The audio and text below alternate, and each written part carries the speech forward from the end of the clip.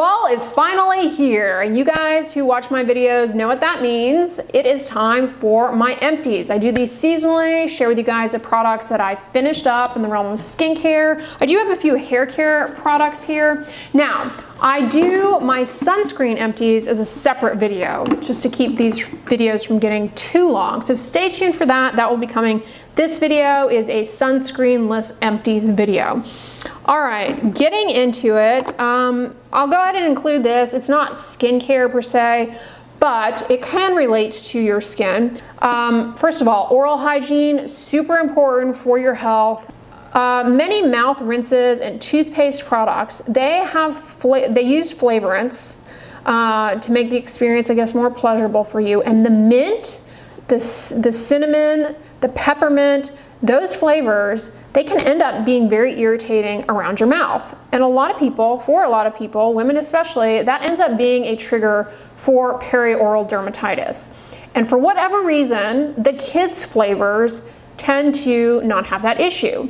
So I have gone down the rabbit hole over the past, I don't know, year, year and a half of exploring kids' toothpaste and kids' fluoride rinses and the different flavors. And I've had this realization that mint and cinnamon are just overrated for oral hygiene. And if you're stuck in the mint cinnamon bandwagon, I encourage you to step on over to the kids aisle because they have a lot of fun flavors that just, I don't know, are a pleasure to work with. So I rather enjoyed this pineapple punch.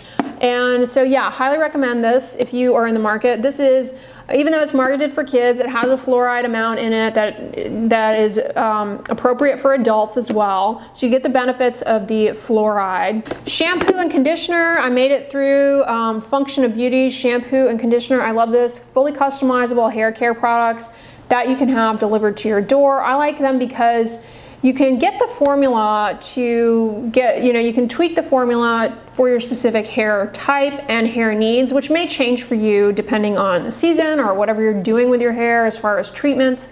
You may need something different, but you can keep it fragrance free.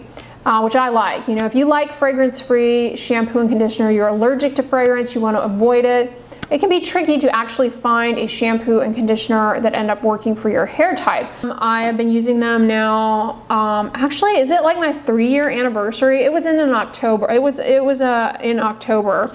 Uh, I think it was three years ago at this point. Wow, time flies that I started using Function Beauty. Uh, highly recommend them, and I just like the convenience of having them delivered to your door. All that being said, you know, about the fragrance and whatnot, I actually love fragrance in shampoos and conditioners. I know, right? Like, um, I'm not allergic to it, and I like scented shampoos and conditioners as well. And I always like, I, I get like impulsive when it comes to shampoo and conditioner. I'll pretty much try any and I love affordable hair care products. So I decided to give Suave a chance again. Uh, I haven't used it in many years. Rosemary and mint. But, so when I purchased this, I had to have the, the conditioner to go with it. I, that's just how I am. I have to have the matching. I'm not gonna use another conditioner that doesn't match the shampoo. Like, yeah, I'm one of those people. So I purchased the shampoo Elated by the fact that the shampoo does not have methyl isothiazolinone, didn't bother to look at the ingredients on the conditioner, and it does. So yeah, that stinks. I don't recommend using hair care products, shampoos, conditioners, body care products with methyl isothiazolinone. There's a little lizard out there. Um, because it is a common allergen in hair care products. But all that to say, Suave was was not disappointing. My hair did well with it. Moving on into the realm of skincare products, I finished the e.l.f. Skin Pure Skin Cleanser with oat milk. This was a very nice, mild, gentle cleanser, quite affordable. I reviewed this line a long time ago. Never actually made it through the moisturizer in completion. I got, you know, sidetracked with another product I was trying out for you guys. But I did finish the cleanser, which is good because it's good within six months of opening. So I always try and get through stuff by the good within opening, a little open jar with the number and the months that tells you how long it's good after opening. So I did finish this. Uh, nice, gentle, mild cleanser with oat milk in it. Check out my review on that product. Uh, speaking of gentle cleanser, finished up this one I love. It's the Hydro Boost with hyaluronic acid hydrating cleansing gel. I rather enjoy the experience of using a cleansing gel. And this is a favorite, free of fragrance, which is good because the Neutrogena Hydro Boost products that do have fragrance, it's too intense. Like I can't handle it. All right, I finished the Avène Tolerance uh, Extremely Gentle Cleanser Lotion. This is a great makeup remover and it technically doesn't even have to be rinsed off of the skin. So I get a lot of comments, you know, I'm gonna be camping or whatever, what do you recommend for removing sunscreen and things when I don't have access to running water? This is a great product. The only problem is the bottle is rather large. And in a video, when I was going to go on a trip, I remember decanting it into a little silicone thing, not really thinking much about it. And one of you guys commented like, is that such a good idea? And you're absolutely right. The problem with decanting products like this into you know, smaller bottles is that this particular product does not have any um, preservatives. It's preservative free. It's meant for people with very sensitive skin. So by doing that, you know, you introduce the issue that it could go off. Fortunately, you know, I was only using it a couple of days. It wasn't a big deal. But yeah, um, so I don't recommend doing that. And all that to say, you know, if you're going camping, is this a good size to be lugging around? I don't know. I imagine not since when you're camping, it's all about less is more as far as stuff you have to carry, but it does work well by itself to wipe off dirt, residue, sunscreen, all that crud, including around the eyes. So wanted to share that with you. Speaking of effective, gentle uh, cleansers for breaking up the film of cosmetic residue, this Kose Softymo Speedy Cleansy, Cleansy Cleansing Oil Love it. This is comparable to the Hada Labo cleansing oil that I'm currently using. Really like this. Affordable oil. I, get, I buy it on Amazon. It's a Japanese brand. Um, I use this first to my face uh, to break up cosmetics, you know, my mascara and my water resistant sunscreen. And then I step in the shower and I use a gentle cleanser as a second step. You know, for example, the Hydro Boost um, or the e.l.f. one. Yeah, but if you're in the market for a cleansing oil or you've never tried one before and you don't want to, you know, break the bank, some of them can be really expensive. It's like, dude, we're just trying to we're just trying to take residue off here. Um, slow your row, but you know that's the skincare industry. Uh, but if you're looking for one that's that's pretty affordable yet effective, try that. The Japanese cleansing oils, they're top notch. I mean, I feel like it's been a more popular thing in Japan at least uh, for much longer than, you know, it's, it, it's only in the, I don't know, past eight or so years, well, say give or take, taken on here in the, here in the States. Now this is a product I was shocked and somewhat um, ashamed by how much I loved. And it's the Tatcha Kissu uh, lip mask. And it does have fragrance in it, which you guys know I'm not a fan of fragrance and flavorants on the lips. It can be really an issue for dry lips. But it must be very little because I don't, there's no aroma with this. It says peach lip jelly. There was no aroma with that. Man, I finished it up. This is good. Uh, it really worked well in terms of keeping the lips soft, hydrated, uh, and you know, I'm vulnerable to getting dry lips because of, likely because my eczema comes and goes, flares up. Plus, if I eat certain foods, like if I drink tea a lot, I get some irritation on my lips. I had to stop chewing gum years ago because that would always aggravate my lips. Anyways, if I'm eating a lot of cinnamon, you guys know I like to make apples in the slow cooker and put a lot of cinnamon on them, slow cooker like applesauce. If I am eating that a lot, I can get a lot of irritation. This was like a dream come true.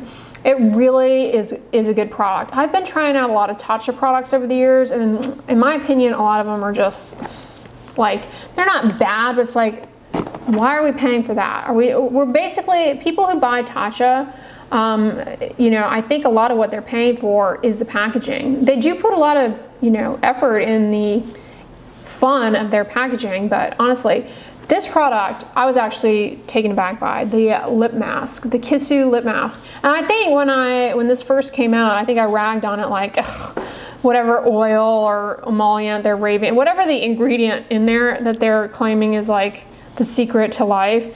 I was like, there's no data for that. And there's not, but it, it's a good product. All right.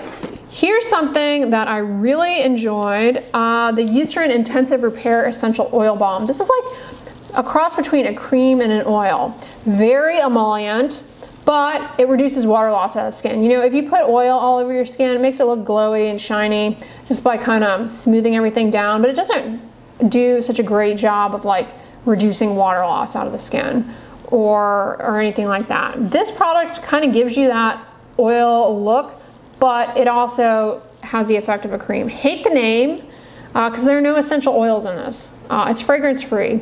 Um, but I really enjoy this a lot and would definitely repurchase. But a lot of you guys commented that's too greasy for you. If you like slugging, uh, your body especially, uh, you might like that because it's kind of it's kind of the experience that you get with smearing Vaseline all over your skin, which I rather enjoy, especially for the body. Stubborn pa dry patches on the knees, the thighs, but it spreads on the skin a lot a lot more easily than thick Vaseline. It sinks into the skin uh, a bit better as well.